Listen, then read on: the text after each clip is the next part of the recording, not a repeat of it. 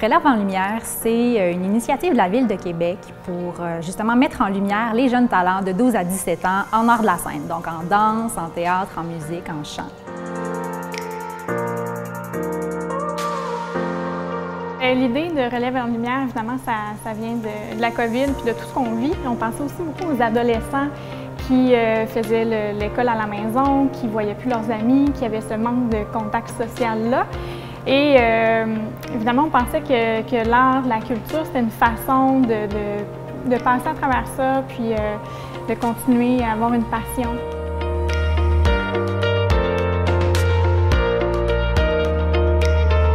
Moi, j'assure le coaching des artistes.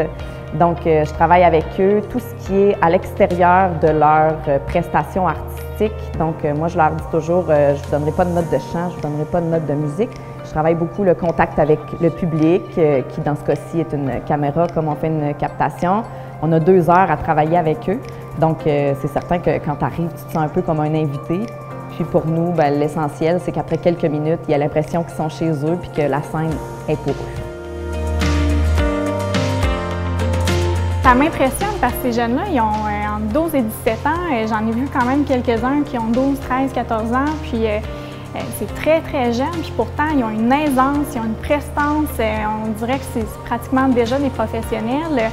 Puis ils savent pourquoi ils font ça, ils savent pourquoi ils aiment ça, pourquoi ça, les a aidés aussi pendant la pandémie. Donc les entendre parler de ça, c'est vraiment inspirant, euh, c'est le fun.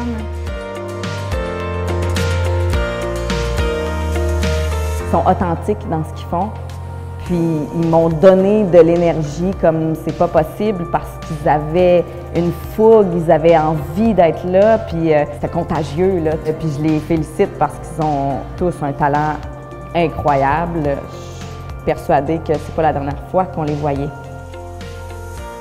Je pense que la meilleure chose que je peux dire aux jeunes qui pratiquent une discipline artistique, que ce soit la musique, le théâtre, le chant, c'est de croire en vous de jamais, de jamais décrocher en fait de votre passion, de, de continuer à croire en vous, puis de ne pas avoir peur de montrer vos couleurs. J'aimerais féliciter ces jeunes-là euh, d'avoir eu le courage de poser leur candidature, puis félicitations euh, pour ce travail-là, puis euh, j'ai hâte de voir la suite. Les huit capsules sont en ligne, on peut les retrouver sur notre chaîne YouTube, sur notre page Facebook. Euh, c'est pas comme une, rencontre avec un réel public, mais c'était une façon quand même de pouvoir dévoiler au grand jour ces talents de chez nous.